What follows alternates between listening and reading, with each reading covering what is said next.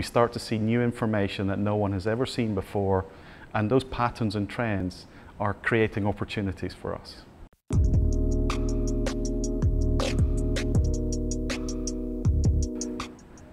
Hello, I'm Mark Sorsa Leslie. I'm the co-founder of Beringar. Beringar creates clever spaces that unlock potential. We do that using smart sensors powered by machine learning that make buildings talk.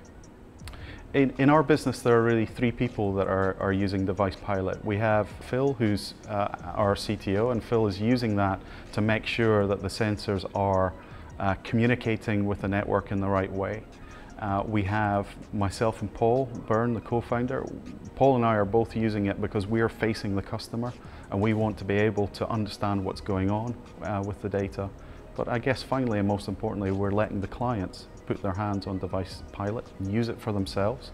They can see exactly what's going on in near real time and, and know that they can trust the information that we're collecting.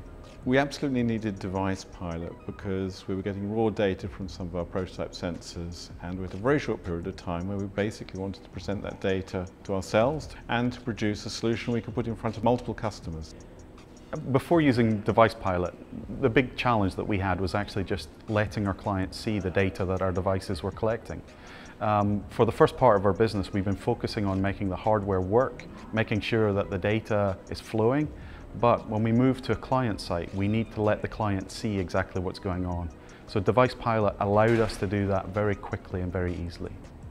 So it was about six months into our journey, we started using uh, Device Pilot uh, and using that not just in a test sense, but actually deploying that for some uh, commercial trials with clients. Initially, the reasons we were using Device Pilot was get us to going quickly to market. It's lovely working with a tool where we're not deep in the technical documentation, but we're putting data in and it starts appearing as we think it should. There's not a period of uncertainty, why can't we get this to work? We put stuff in, click, it appeared, it was great. There are really three different things that the Device Pilot has enabled us to do. The first and the most important thing is to make sure that our devices are live and functioning so we can see that clearly and at a glance. The second thing is that we can allow our clients to have access to the data and let them be comfortable of what we're collecting. I think the final thing, and, and probably the most important thing, is we start to see patterns and trends. We start to see new information that no one has ever seen before, and those patterns and trends are creating opportunities for us.